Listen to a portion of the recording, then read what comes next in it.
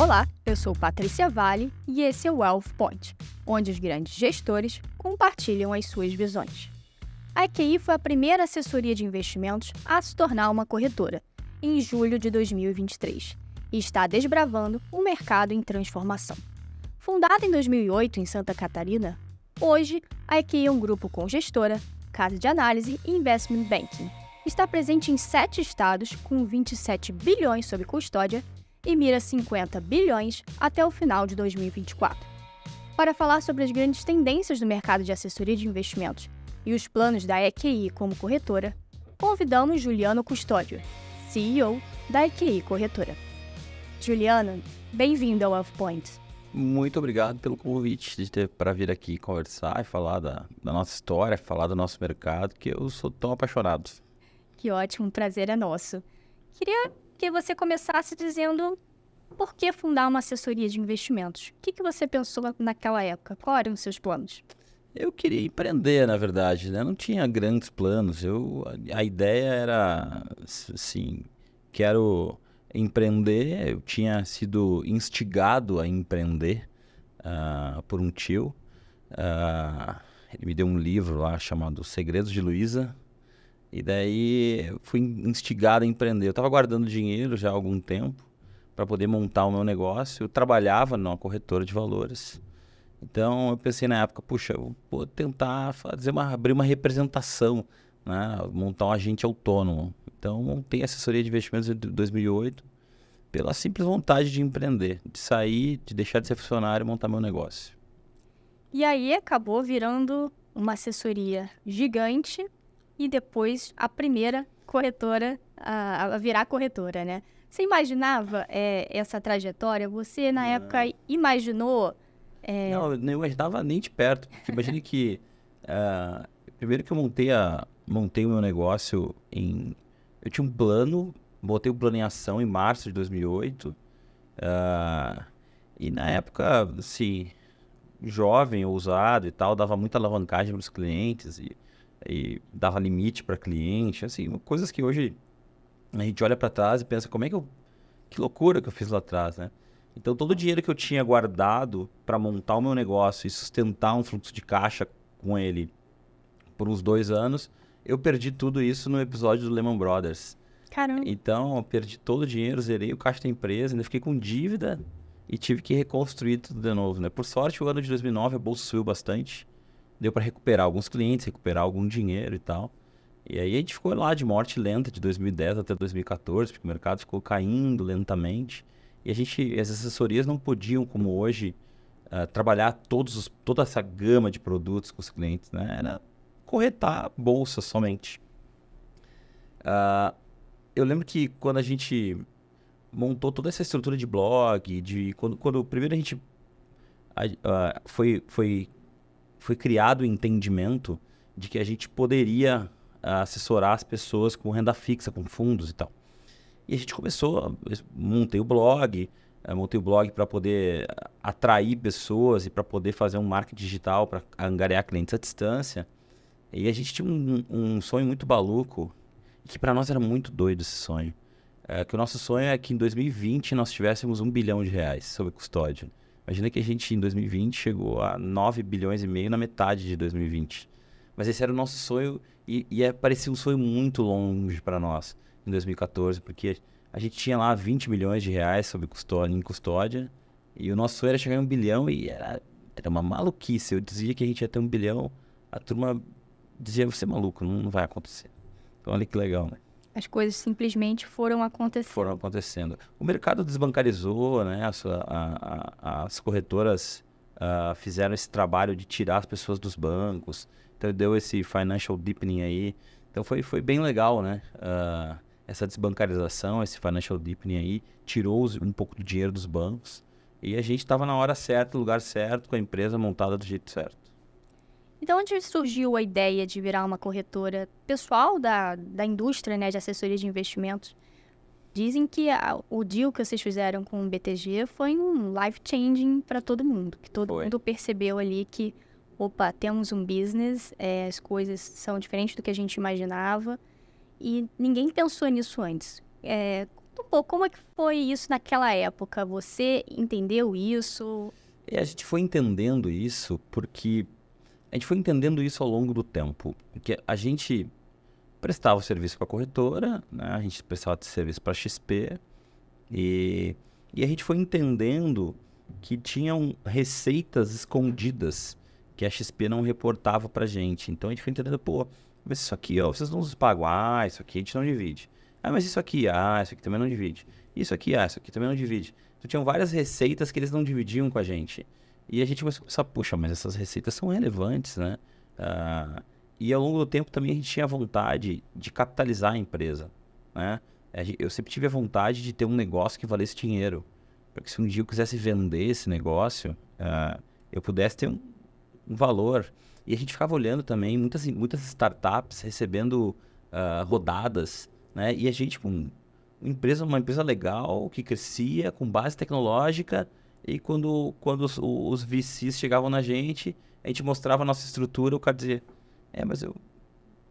Tu tá preso numa corretora. Não, hum, não posso te dar capital. E a gente com necessidade de capital para crescer, né? Vendo algumas fintechs decolando muito e fazendo rodada de capital.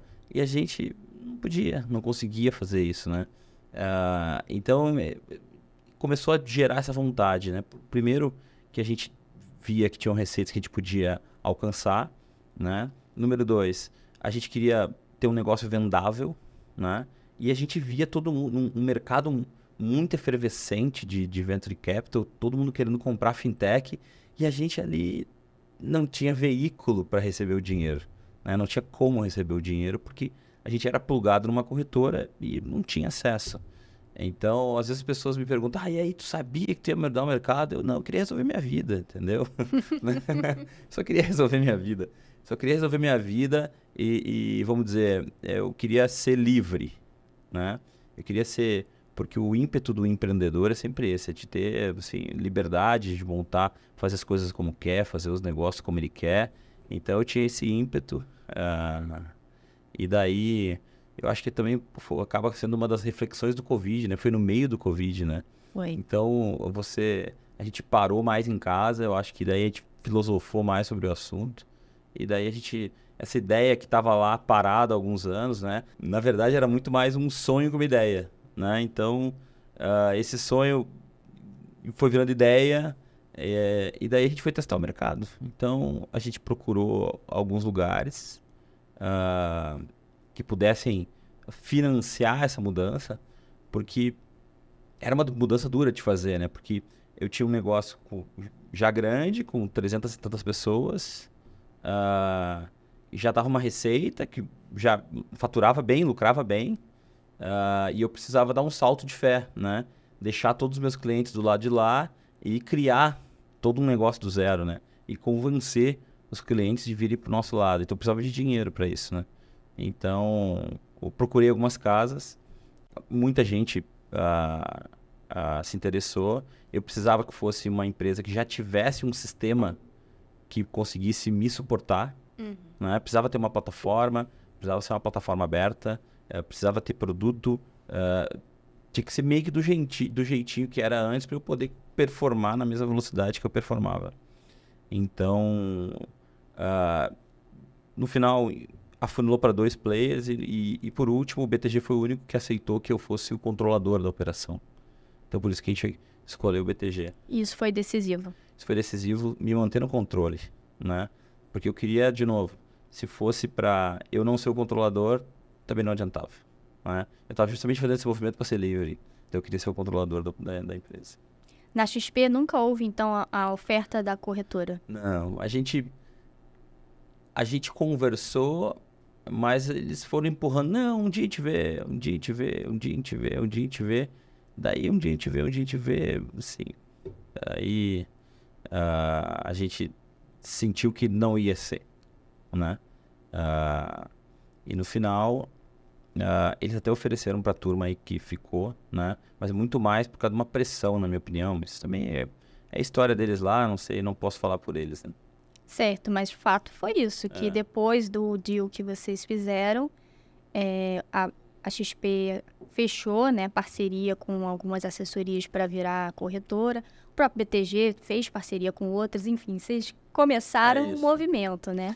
Eu acho que nem as corretoras. Eu acho que as corretoras não entendiam o poder das assessorias e, e as assessorias não sabiam o seu valor. Então, essa, essa, esse movimento destravou essas duas coisas, né? Eh, A gente entendeu quanto é que a gente valia e as corretoras entenderam o poder da distribuição, né?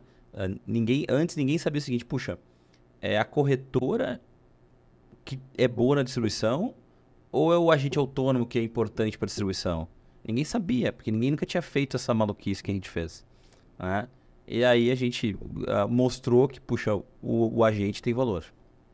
E por isso muita gente quis ir atrás, mas agora parece que está tendo uma reversão, né? Alguns, um player já desistiu, é, a Monte Bravo de fato virou uma corretora, outros talvez estão indecisos. Está num momento assim, acho que todo mundo reavaliando depois da nova lei, né? Da Isso. assessoria de investimentos. Eu acho que tem dois, dois pontos. O primeiro ponto é, a gente tá no... Tá, o mercado tá ruim fazem dois anos. O juro alto não é tão bom para o nosso mercado. Por quê?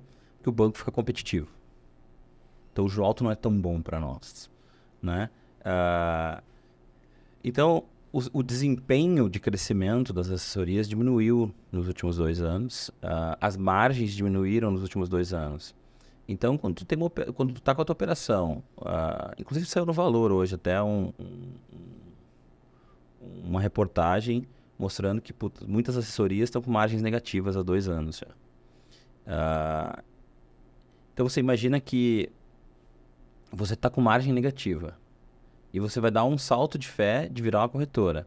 Tem custos a mais, tem estruturas mais complexas, tem regulação, dá bastante trabalho, né? dá muito trabalho. Ah, eu, eu tava vendo uma foto, eu tava vendo um vídeo meu de 2019 e eu vi o vídeo meu agora. Quatro anos depois parece que eu envelheci 10. Foi esse processo. É, foi esse processo de montar essa infraestrutura toda eh, num ambiente pior. Né? O ambiente está pior.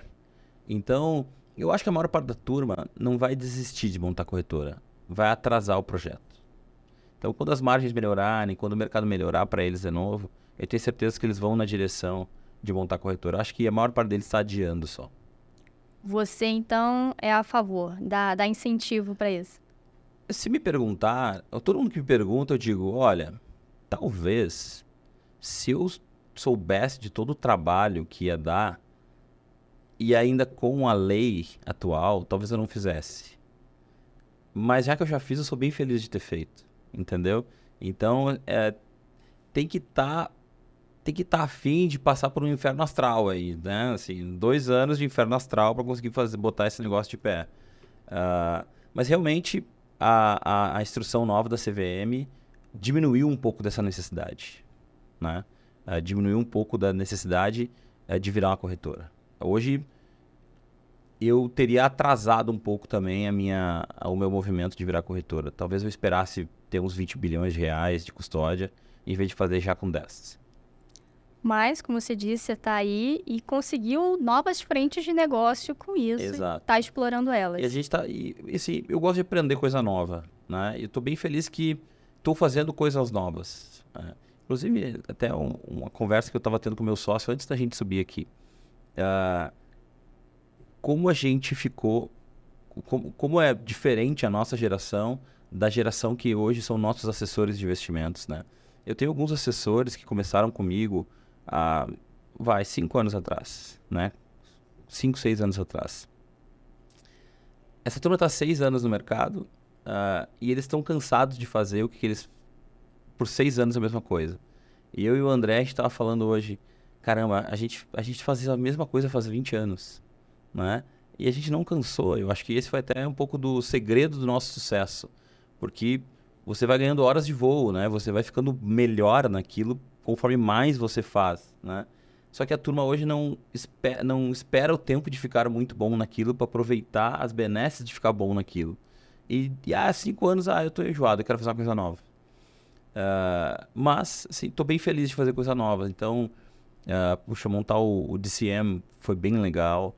uh, uh, conseguir botar no ar fundos imobiliários listados também, listar um fundo imobiliário, sensação muito legal de ir lá na bolsa, botar um fundo, listar o fundo, puxa, assim, vai ficando na história, vão ficando coisas na história, né? Então está sendo bem legal montar essas, essas áreas todas novas na empresa.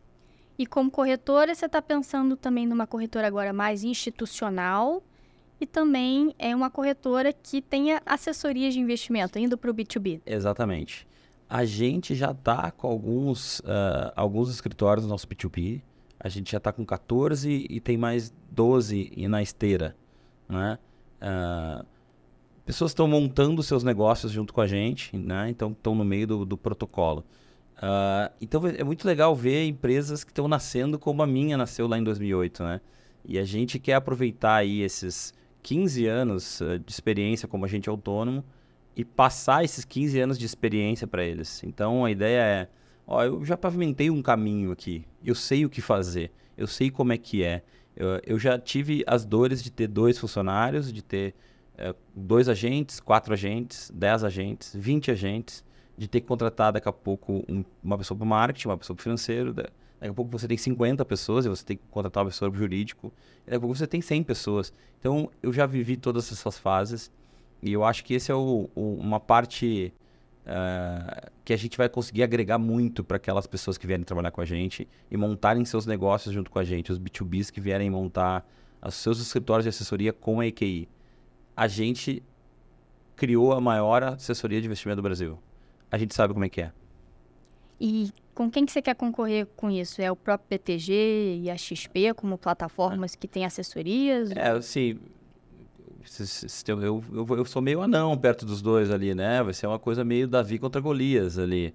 Mas o, o, a ideia é ir pegando esse mercado, né? Eu acho que a gente consegue, uh, principalmente nesse início, dar muito mais atenção, porque a gente tem muito menos escritórios para cuidar. E a gente sabe como fazer. Né? A gente estava lá no dia a dia fazendo.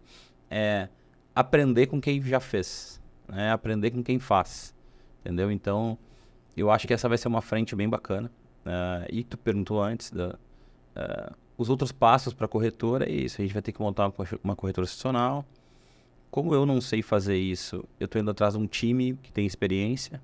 Né? Então a gente está conversando com alguns times já uh, de outras corretoras ou pessoas que já fizeram isso no passado para tentar montar o nosso time de, de, de corretor institucional, que é para ter todas as, as pecinhas ali, uh, porque a corretora de valores é uma mistura de um monte de negócios ruins, que quando tu junta eles todos vira um negócio bom.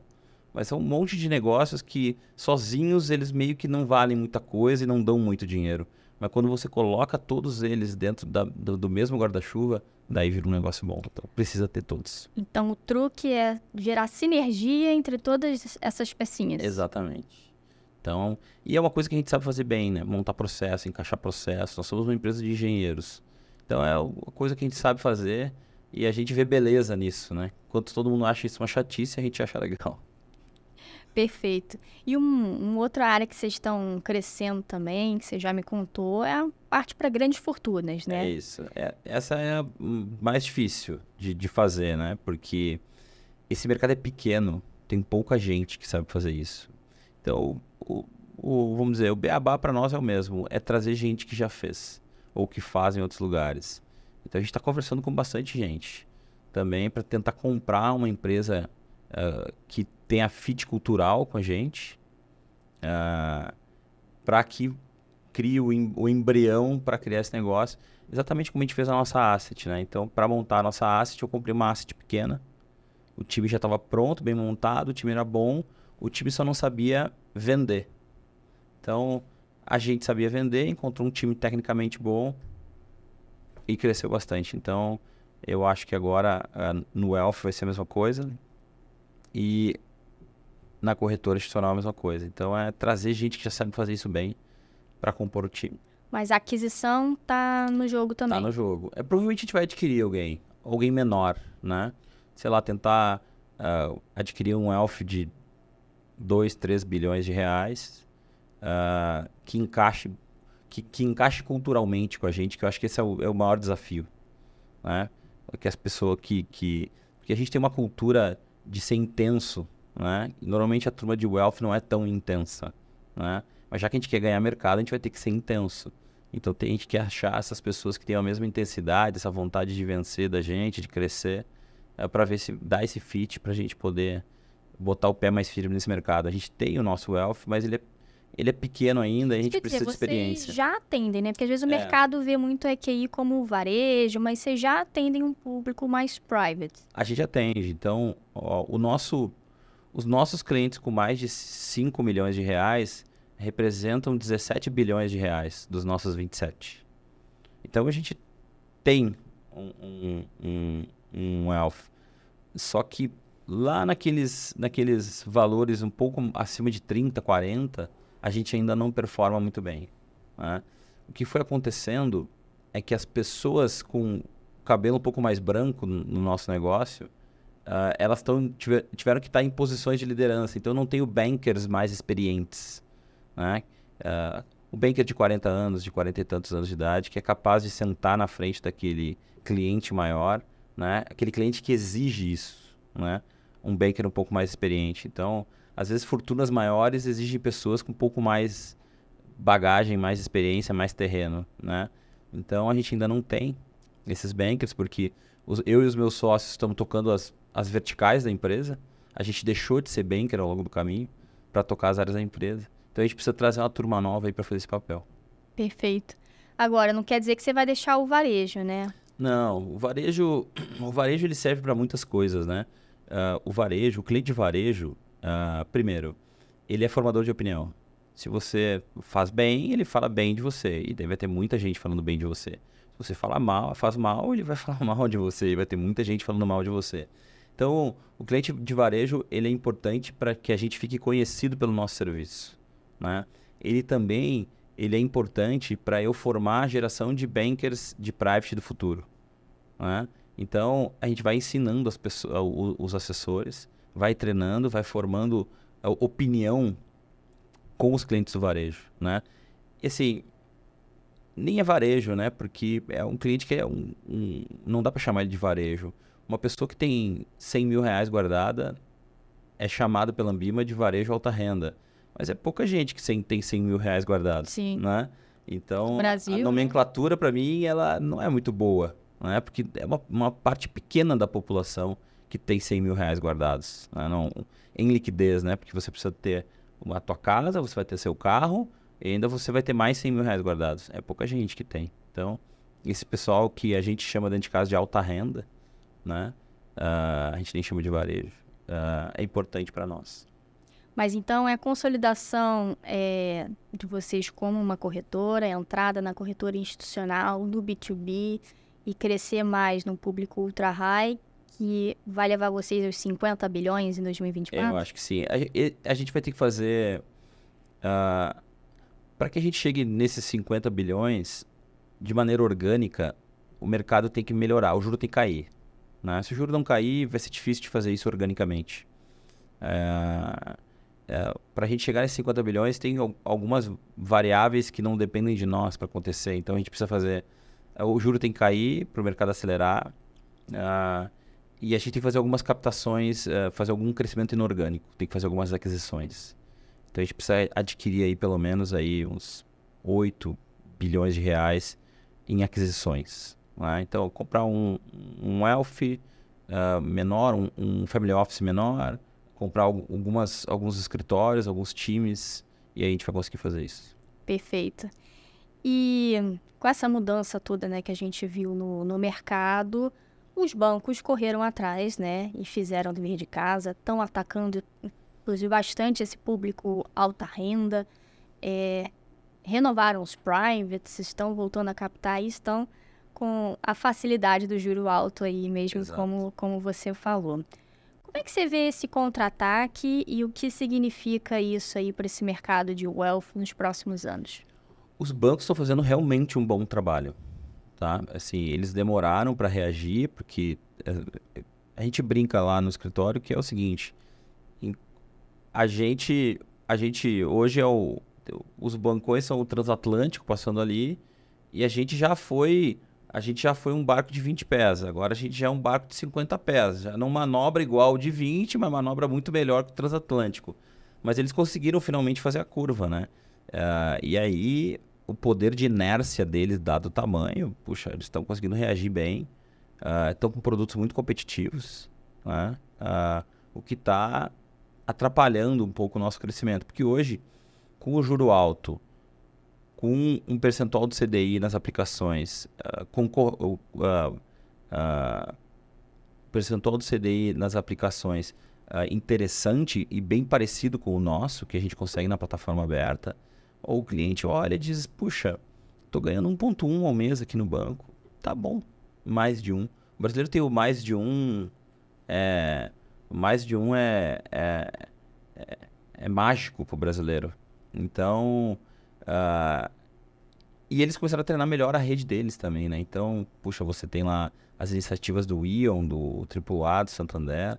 Eles estão acertando bem, né? Estão formando melhor pessoas. Estão uh, ah, conseguindo tirar a gente das nossas empresas para ir trabalhar lá, né? Se aproveitando também do que o mercado de assessoria ficou ruim os últimos dois anos. Uhum. E a turma uhum. ficou com margens mais baixas. As receitas dos agentes autônomos diminuíram.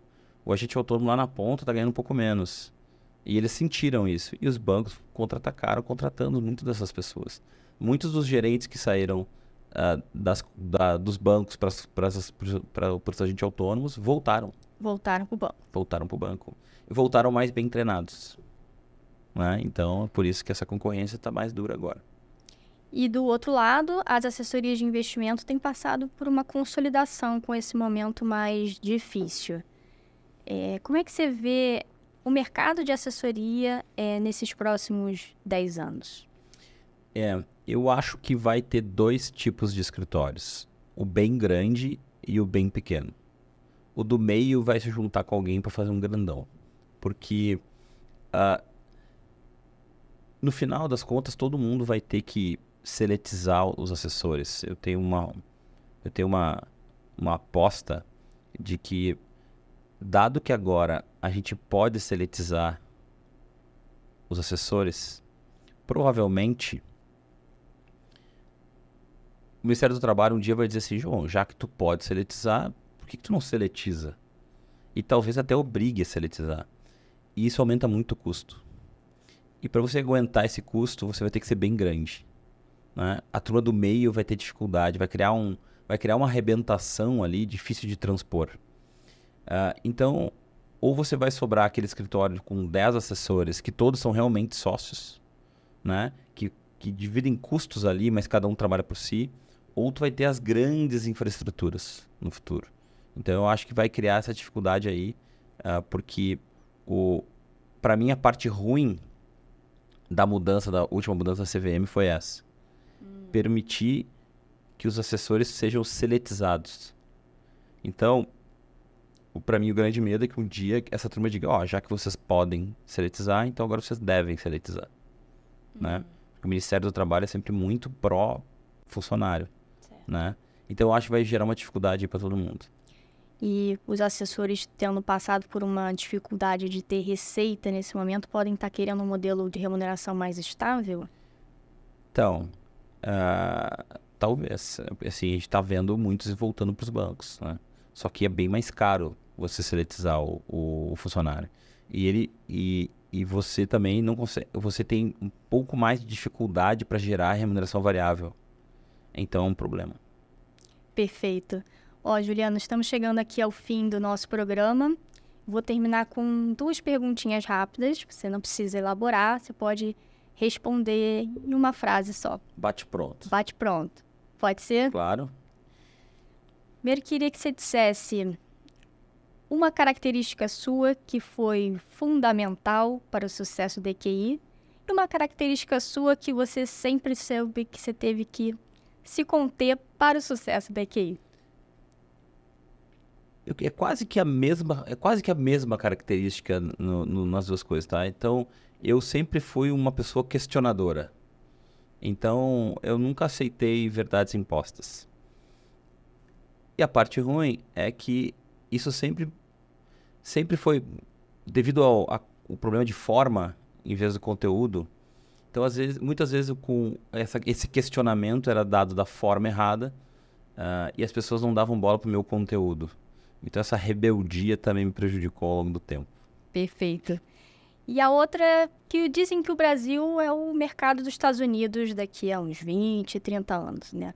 Por lá, os bancos perderam muito terreno no wealth management e cresceram nas assessorias independentes. Hoje é, são responsáveis por 70% né, do, do mercado. Você acha que é verdade? Dá para comparar os Estados Unidos com o Brasil? A gente está caminhando para lá ou aqui vai ser outra coisa? Eu acho que não chega lá igual aos Estados Unidos, porque lá a gente não tem uh, esses bancos com tanto poder de marca. Né? Vai ser mais difícil, vai ser mais lento e talvez a gente não chegue nos 70 o, o, nos independentes. Mas eu acho que a gente vai longe, nos 40, 50, a gente vai. A gente vai chegar aí na os independentes sendo uns 50% do mercado, eu acho que a gente vai conseguir. Perfeito. Olha, agradeço a sua participação. Foi ótima aqui a conversa. Eu que agradeço. Obrigado a Neofeed, obrigado a todo mundo aí que está nos assistindo. Espero que tenham gostado. Exatamente. Obrigada aqui a nossa audiência também. Esse episódio vai estar no site do Neofeed e também nas principais plataformas de streaming. Até a próxima.